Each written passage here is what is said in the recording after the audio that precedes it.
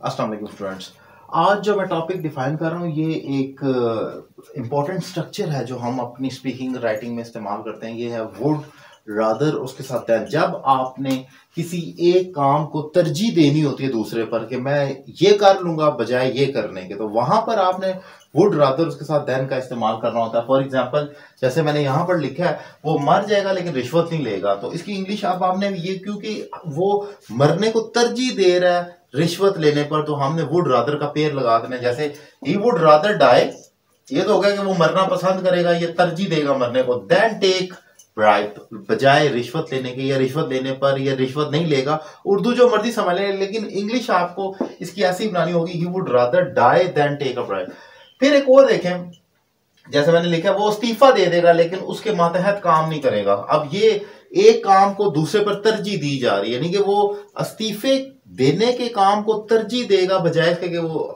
दूसरे दोस्त के अंडर काम करे। तो मैं इसको ऐसे लिखूँगा he would rather resign than work under him कि वो इस्तीफा दे देगा। आप देख सकते हैं वुड रादर के साथ हमने फ़र्स्ट फॉर्म डाली ही वुड रादर रिजाइन और उसके बाद than work under him than के बाद आपने ऑब्वियसली uh, क्योंकि अगला टेंस है तो आप फ़र्स्ट फॉर्म डालकर देन वर्क अंडर हिम कह देंगे।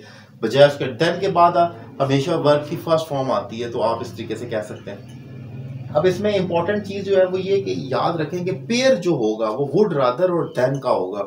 जब आपने तरजीह देनी हो कि कोई एक एक्शन इसको मसलन मैं ये कहता हूँ कि मैं आ, आ, तालीम छोड़ दूँगा लेकिन मैं आर्ट्स के सब्जेक्ट ज्वाइन नहीं करूँगा। मतलब मैं एक तरजीह दे रहा हूँ ऑब्वियसली कि ये कोई लॉजिकल चीज़ नहीं मैं एग्ज़ाम्पल दे रहा हूँ। ठीक है इसी तरीके से हम ये कह सकते हैं कि वो आ, अपने वो उससे ताल्लुक खत्म कर देगा लेकिन झूठ बोलने की आदत नहीं छोड़ेगा। He would rather quit his relationship than leave his habit of telling a तो आप देखेंगे कि एक एक्शन को दूसरे पर तरजीह दी जाए तो वुड रादर देन का पेयर इस्तेमाल होगा। ये बहुत इंपॉर्टेंट स्ट्रक्चर है। हम अपनी स्पीकिंग और राइटिंग में इस्तेमाल करते हैं। उम्मीद करता हूँ ये लेक्चर आपको पसंद आया होगा। मेरे दीगर लेक्चर देखने के लिए यूट्यूब चैनल सब्सक्राइब करें। Thank you very much